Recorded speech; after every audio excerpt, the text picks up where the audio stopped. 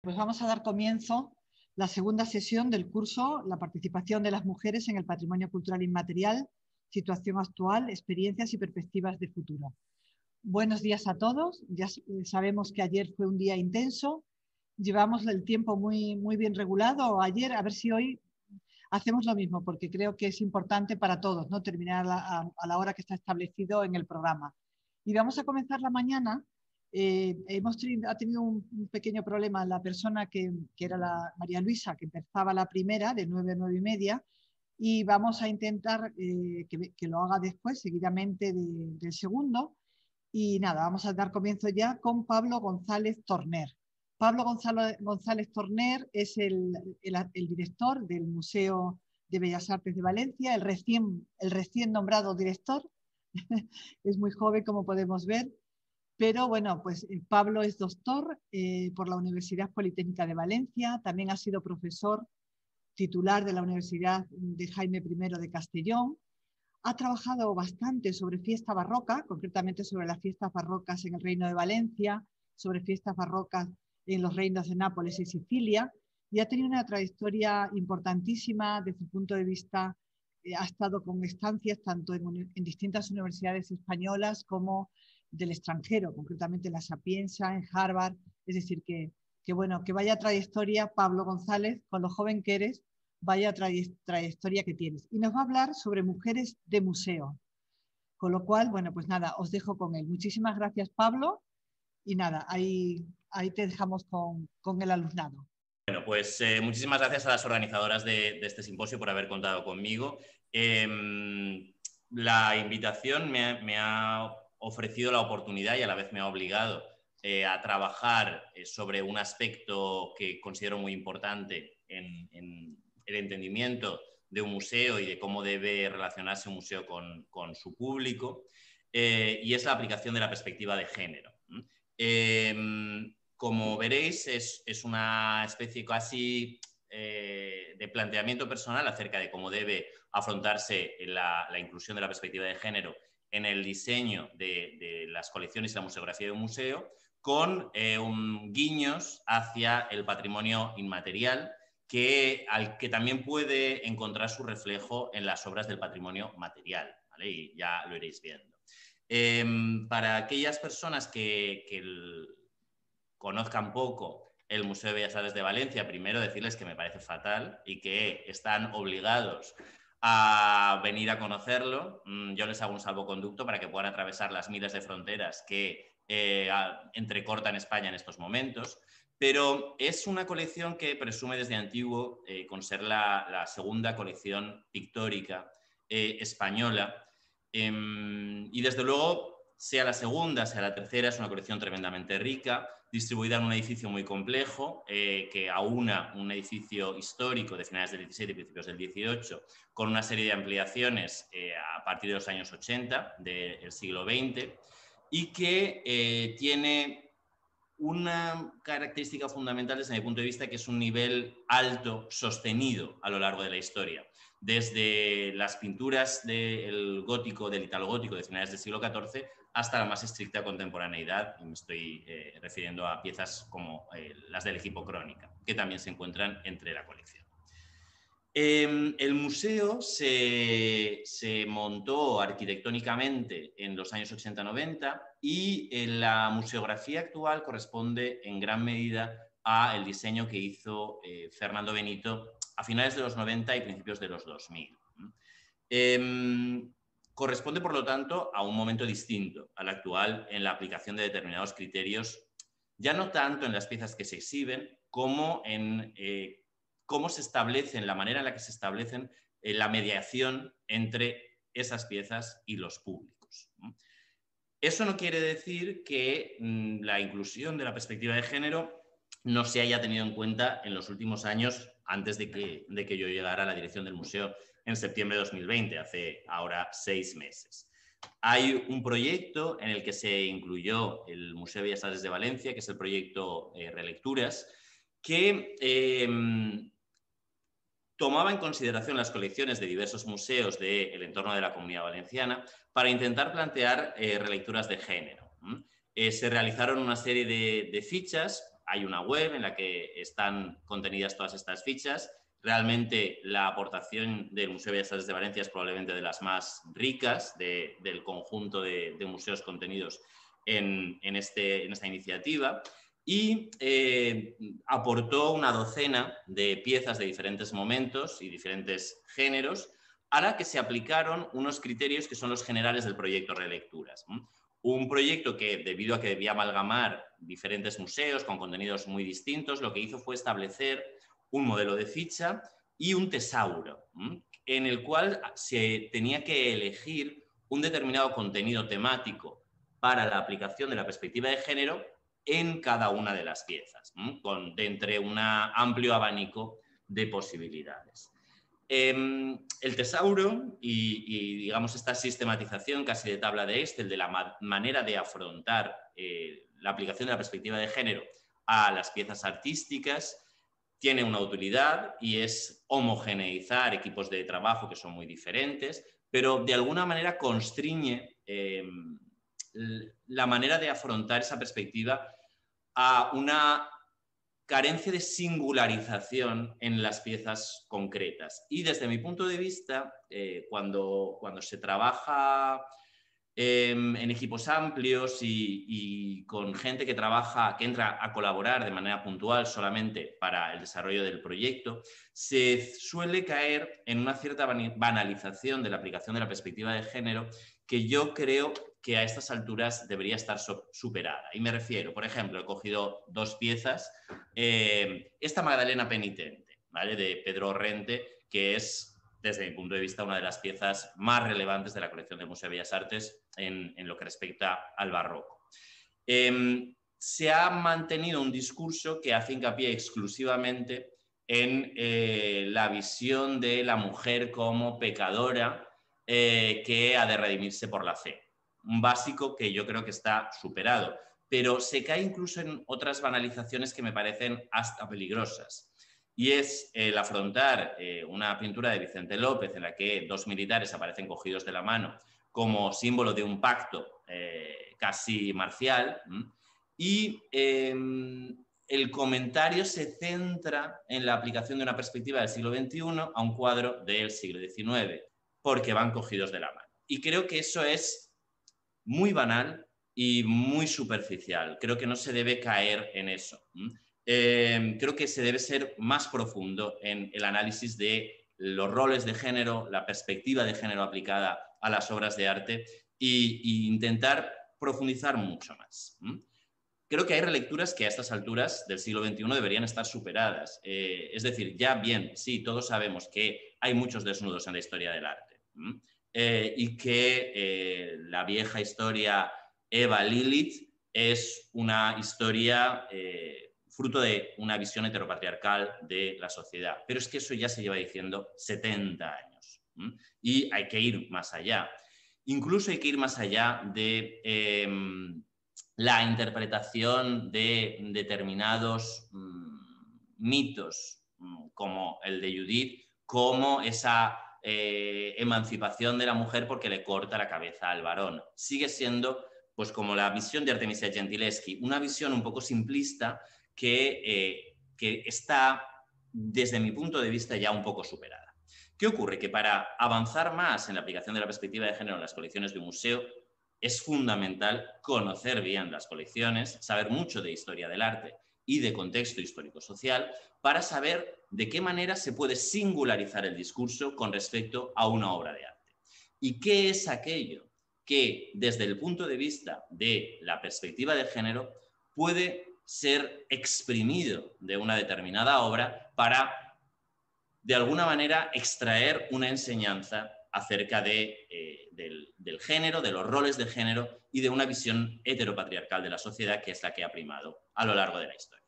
Y me explico. Eh, la perspectiva de ser singular en cada obra de arte o en cada contenido concreto. Y son muy distintas. Nosotros tenemos, por ejemplo, eh, la segunda, creo, mejor colección de pinturas de Juan de Juanes después de, la del Prado y em, es el mejor pintor, sin duda, del siglo XVI y el discurso en torno a Juan de Juanes debe incluir la visibilización de dos mujeres ocultas, de Margarita y Dorotea Juanes, sus hijas, que fallecen en la, en la Font de la Figuera, en un pueblo eh, del sur del Reino de Valencia, porque están pintando una obra que había sido contratado, contratada por Juan de Juanes y que están terminando ellas. Son pintoras, tal y como reconocen las fuentes literarias, pero resulta casi imposible saber aquello que pintaron, porque evidentemente todo lo hicieron dentro del taller paterno o del de su hermano. Debemos eh, también hacer frente a otras mujeres fuertes y a lo que significan estas mujeres dentro del discurso museográfico. He, elegido la, Santa Águeda de Massimo Stanzione porque es una obra de calidad altísima. Hace poco em, colgamos en la web del museo un vídeo con una especialista en perspectiva de género que hablaba de la figura de Santa Águeda como ya desde su configuración como mártir en el siglo III, una figura de resistencia femenina al heteropatriarcado y creo que esto debe ser resaltado, pero además Santa Águeda desde luego me permite hacer un guiño a el patrimonio inmaterial, no solamente porque es la capital de Catania, la patrona de Catania, perdón, aquella que protege a la ciudad de los terremotos y que eh, además debería ser, desde mi punto de vista, estudiado con más profundidad, porque es muy curioso que una isla, que es a la vez un reino, como es Sicilia en el siglo XVII, eh, reconstruya toda su religiosidad contrarreformista en torno a las figuras de mujeres. Ágata, Águeda es la patrona de, Catania, pero eh, Ágata, Ninfa, Rosalía y Oliva son las patronas de Palermo, aquellas que protegen la ciudad. Y es curioso cómo todo esto se construye y se arma en el siglo XVII en torno a una religiosidad cuyos referentes son fundamentalmente femeninos. Eh, y nos permite hacer un guiño también a las áreas de Zamaramala, en Segovia, una fiesta que, utilizando a la santa mártir que se resistió al dominio del varón en el siglo III, ha configurado una fiesta en la que las protagonistas son fundamentalmente mujeres, aún hoy en día. Eh, siguiendo con esta línea, mm, hay otros conceptos, otras obras que, mm, partiendo de esa eh, capacidad de Santa Águeda para resistirse al varón, llegamos al culmen, la Inmaculada Concepción y la construcción de la devoción a la Inmaculada Concepción en el siglo XVII, un tema en el que mm, he trabajado mucho y en el que he disfrutado mucho trabajando. Tradicionalmente se ha entendido la propuesta de la devoción a la Inmaculada Concepción como al contrario, una imposición heteropatriarcal de un modelo de virtud femenina que se estaba proponiendo a las mujeres para seguirlo. Pero la Inmaculada Concepción puede entenderse en el sentido contrario, como una capacidad de la mujer para sustraerse al varón y alcanzar la perfección por sí sola. De hecho, mm, el planteamiento de la devoción a la Inmaculada Concepción, que será dogma solamente en el siglo XIX, propone a una mujer como corredentora de la humanidad, como nueva Eva, casi al mismo nivel que Jesucristo. Y de nuevo tenemos un enorme guiño a eh, la, cultura inmaterial. Eh, también en el caso de la construcción de la devoción a la Inmaculada Concepción, es fundamental el desarrollo paralelo a la promoción por esta advocación mariana, la, promoción de las fiestas, que van haciendo que toda la sociedad se implique y que la Inmaculada Concepción se convierta en la heroína del pueblo español hasta el punto que en el siglo XVIII Carlos III la declara patrona de, eh, de, todas las Españas. Ya lo era de los tercios de Flandes, ya lo era de muchas ciudades, pero es de nuevo un recurso a una religiosidad netamente femenina y que además en este caso se eh, caracteriza por ser esencialmente un rechazo del varón para la concreción de la propia identidad. Bueno, estos son los casos de las fiestas de 1662 en Valencia, que son verdaderamente espectaculares y que, de las que afortunadamente tenemos mucha información gráfica y pictórica. Siguiendo con esta línea, pero singularizando en obras e historias concretas, vuelvo a la magnífica Madalena de Pedro Rente, que eh, desde mi punto de vista no debe ser vista como una pieza más de esa construcción de la imagen de la mujer como pecadora que entroncaría eh, sus raíces en Lilith y en Eva y que sería arrastrada hasta prácticamente el momento actual,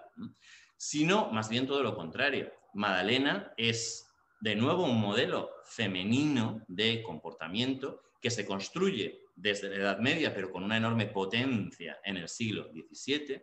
y que, si nos fijamos, es prácticamente la única mujer a la que se le permite representarse tal y como se representan a los varones en la tradición del cristianismo. Es decir, un varón es capaz de reflexionar, de utilizar su intelecto para procesar la negatividad de ciertos aspectos de su vida, realizar un acto de contrición y reproponerse al mundo como una figura más perfecta de lo que había sido antes. Es lo mismo que está haciendo San Pablo Ermitaño, es lo mismo que está haciendo San Onofre y que Madalena por fin puede hacer en el siglo XVII. Un paso previo a la gran revolución femenina de nuevo en el siglo XVII, que es la mujer no solamente reflexiva y que utiliza su intelecto para pensar y transformarse a sí misma, sino la mujer que no solamente piensa, sino que además lo escribe. Y de nuevo estamos utilizando obras de arte, pero singularizando, en este caso, en la figura de Teresa de Jesús, que es reclamada en el siglo XVII como doctora de la Iglesia al nivel de otros doctores tradicionales de la Iglesia, algo que no había ocurrido jamás. Una mujer que no olvidemos en el XVII llega a disputar a Santiago el patronazgo de las Españas. Es copatrona de España durante un periodo hasta que la Catedral de Santiago, el arzobispado, etcétera, monta tal lío que se acaba retirando el copatronazgo, pero que además representa una oposición entre dos visiones de la religiosidad que son muy distintas. Una visión femenina e intelectualizada y una visión de Santiago que está heredada de la Edad Media y que se repropone de nuevo en el siglo XVII como un Santiago guerrero, un Santiago matamoros, que no tiene absolutamente nada que ver con el carácter, digamos, muchísimo más intelectual y amable de la reforma carmelitana que propone Santa Teresa. Llegamos con esto a, me gustaría terminar con algunas visiones eh, más contemporáneas y que eh, también me van a permitir enlazar probablemente con una visión mucho más actual de las problemáticas de género y de, eh, de su manera, la manera de hacerles frente en un mundo más actual. En, en, el siglo XIX, la colección del Museo de Bellas Artes de Valencia es también verdaderamente fantástica y aquí eh, en diferentes momentos se pueden tratar también problemáticas muy distintas. Obviamente la pintura en la que eh, se puede extraer eh, enseñanzas acerca de la visión de la mujer y de cómo ésta se integra en la sociedad y cómo forma parte más o menos de la, de la cultura inmaterial de una sociedad, no se sustrae a ciertas líneas que atraviesan toda la pintura de finales del XIX y principios del siglo XX. Eh, es lo que puede verse en esta, magnífica pintura llamada Floreal de José Pinazo, em, que es una pintura que genéricamente viene clasificada como costumbrista, pero que en realidad lo que, lo que corresponde es a esta construcción que atraviesa esos momentos de lo que es la patria. Algo que ha preocupado durante todo el siglo XIX, pero que de alguna manera cristaliza muy a finales del siglo y sobre todo durante los primeros años del XX. En este caso, esta pintura floreal eh, obviamente está simbolizando la patria valenciana, ese concepto abstracto, a través de unos tipos que se consideran característicos. Van vestidos de valencianos y valencianas, no los llamemos falleras, que si no eh, se meterán conmigo. Van vestidos de valencianos. Em, si nos fijamos en esta especie de glorificación idealizada de la patria valenciana, el hombre es completamente accesorio. Sirve tan solo para llevar un estandarte frutal. Pero las esencias de la patria, en el caso de José Pinazo, se entienden completamente como un elemento femenino. Son cinco mujeres de edades distintas las que, además, mirando al espectador, le retan a ver en ellas las esencias de lo que es ser valenciano. Es interesante este cuadro no solamente por la patrimonialización femenina del concepto de valencianía o del concepto de patria, sino que este cuadro tiene otras muchas lecturas. Eh, para empezar, en la textil, si nos fijamos, eh, todas las mujeres van vestidas con trajes de valenciana realizados con espolines, algunos de ellos eh, de la fábrica Garín, que sigue todavía en funcionamiento en una localidad pequeña cerca de Valencia, Moncada, y que es un patrimonio textil que es grandemente femenino, a pesar de que evidentemente en los telares trabajan hombres, es un patrimonio que tiene muchísimo que ver con la inclusión de las mujeres en el mundo laboral ya desde el siglo XVIII. Eh, Pero además, a pesar de que van vestidas de valencianas, evidentemente, estamos en un momento en el que la fiesta patria de Valencia y de su entorno son ya las fallas que se encuentran plenamente asentadas y ellas van vestidas de gala, van vestidas de valencianas de gala o de falleras. Y aquí conviene un poco reflexionar también acerca del papel de las mujeres en esta parte tan importante de la cultura inmaterial de Valencia y que es ya patrimonio eh, de la humanidad por la UNESCO. Es una fiesta en la que la indumentaria que aparece en el cuadro de Pinazo floreal se sigue manteniendo casi de manera inalterable y en la que eh, no importa quién la lleve, desde Carmen Lomana a eh, Alaska, eh, o incluso puede llevarlo Barbie, el elemento femenino es un elemento fundamental. Toda la fiesta se articula en torno a la devoción a la Virgen de los Desamparados y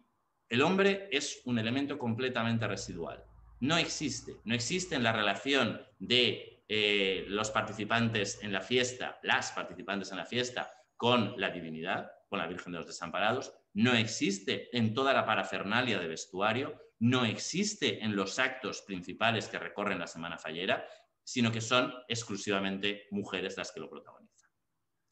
Y por cerrar, em, hay muchas más salidas en eh, la pintura del siglo XX que se pueden aplicar. Algunas más evidentes, como eh, las pinturas de Fillol, que nos hablan de la pervivencia del heteropatriarcado, un pintor que se ha puesto ahora bastante de moda a partir de, la exposición Invitadas y del que eh, la colección del museo tiene varias pinturas, pero me interesan visiones más sutiles. Esta es evidentemente, es la respuesta de un campesino ante la violación de la que probablemente es su hija. Eh, pero sin embargo hay otros pintores como eh, José Benjure Ortiz, que es verdaderamente maravilloso, que realizan una crítica mucho más sutil al heteropatriarcado. Y es fundamentalmente a, raíz de la, o sea, mediante la aparición de mujeres, no de ofensas sobre mujeres, sino de roles de género que se mantienen en la Valencia de principios del siglo XX y que presentan a las mujeres todavía como figuras casi ancladas en el antiguo régimen, como verdaderas cucarachas. Algo que José Benjure sabe captar muy bien, algunas veces de manera más cruda, como en esta anciana con un candil, y otras de manera más sutil, representando la vinculación de la mujer todavía con una religiosidad tremendamente arcaica que sigue viva en los primeros años del siglo XX. Por cerrar, en este siglo XX hay muchas mujeres de las que se puede hablar eh, en primera persona como pintoras, algo que probablemente no se puede hacer en, los siglos anteriores en gran medida con las colecciones que posee el Museo de Bellas Artes de Valencia. Un caso claro es el de María Sorolla, que es una artista atrapada entre hombres, entre su padre Joaquín Sorolla y su marido Francisco Ponsarnau, y de la cual conservamos obra en las colecciones del museo eh, de muy buena calidad, pero es necesario contar que al estar atrapada entre un padre famoso y un marido famoso que se dedicaban a la pintura, María jamás se dedicó de manera profesional a esta profesión. Eh, y muestra que a principios del de, eh, siglo XX todavía las opciones realmente para una mujer para aparecer en pintura seguían siendo o ser o la chula o la novia, es decir, o siempre o la artista que era representada por su arte, pero que no se pintaba a sí misma, o eh, una mujer en un rol todavía tremendamente tradicional. Habrá que esperar mucho más adelante para que las mujeres artistas tomen conciencia de su propia importancia y tenemos un claro ejemplo en, la creación de los autorretratos, que eh, son prácticamente todos masculinos durante el siglo XX, hasta llegar a la figura de Manuela Ballester. No debería decir esto, pero para aquellos que no la conozcan, es la esposa de, de Josep Renau mucho menos conocida que su marido, pero en exilio como él, y una fantástica pintora cuya historia también merece ser contada en las paredes de, este Museo de Bellas Artes de Valencia. Muchísimas gracias.